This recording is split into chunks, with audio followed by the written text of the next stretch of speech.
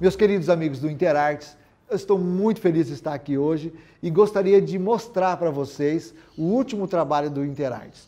Saiu do forno nesta data de hoje, fui lá na editora buscar o livro Literatura e Cinema Malhas da Imagem, para vocês se deleitarem com os estudos Interartes. Temos aqui uma coleção de pessoas muito inteligentes que frequentaram o CELAC nos anos em que ele aconteceu e trouxeram para nós contribuições maravilhosas e eu organizei esses discursos, organizei esses artigos nessa coletânea, que eu gostaria muito que vocês apreciassem.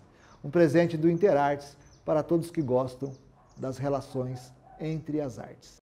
Uma coisa interessante que eu gostaria que todo mundo soubesse, que a editora da UFGD, ao publicar os seus livros, tem a pretensão de que eles cheguem no público interessado.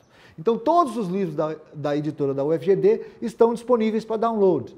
E os nossos alunos da pós-graduação e mesmo da graduação, eles têm uma cota de livros que pode ser retirada gratuitamente na editora. Você sabia disso?